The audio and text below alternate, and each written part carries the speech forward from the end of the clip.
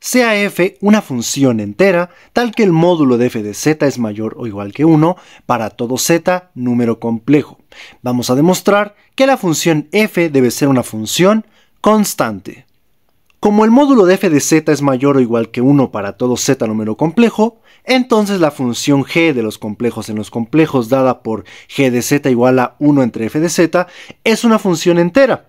Esto es debido a que f es una función entera y gracias a esta desigualdad podemos afirmar que f de z es diferente de 0 para todo z.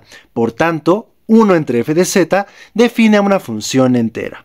Además notemos que el módulo de g de z es igual al módulo de 1 entre f de z, lo cual es 1 sobre el módulo de f de z, y debido a que f de z en módulo es mayor o igual que 1, 1 entre el módulo de f de z es menor o igual que 1.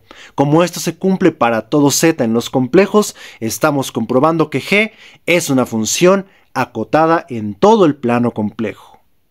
Obtuvimos que g era una función entera y acotada en todo el plano complejo.